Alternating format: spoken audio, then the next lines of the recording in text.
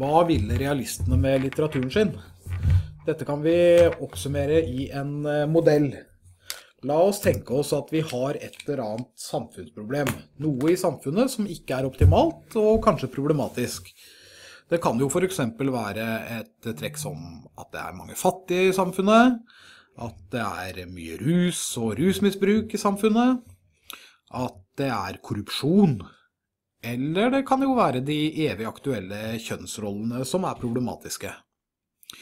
I alle tilfeller så har vi en forfatter som blir bevisst disse samfunnsproblemene, lar seg inspirere eller opprøre av dem og tenker at sånn vil ikke jeg ha det, jeg vil bidra til at det skjer en endring og en forbedring.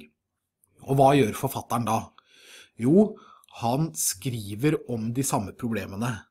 Da kan vi jo tenke oss eh, som Ibsen, som eh, skrev skuespill om kjønnsroller, f.eks.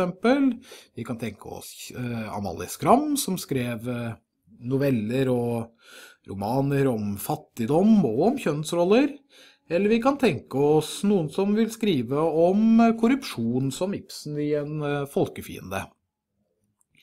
I alle tilfeller så har vi en forfatter som har skrevet et verk om et samfunnsproblem. Ideelt sett så skal dette verket nå ut til et stort publikum. Det er mange som leser eh, romanen eller ser skuespillet som tar opp det samfunnsproblemet. Og målet er da at dette publikummet skal tenke at oi, dette er problematisk, sånn vil vi ikke ha det i samfunnet vårt. Og hvis de gjør det, hvis de blir engasjert og opprørt over det samme problemet som forfatteren i sin tid ble engasjert og opprørt eh, over, så vil de gjøre sitt ytterste for å bedre på det problemet. Altså vil de sørge for at det skjer en endring i samfunnet, og på den måten så får vi en forfatter som gjennom å tematisere et samfunnsproblem bidrar til at publikum forsøker å endre dette samfunnsproblemet.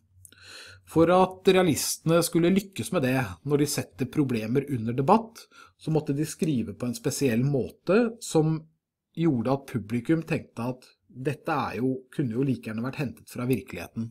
Og det kan du lese og se litt mer om lenger ned på siden.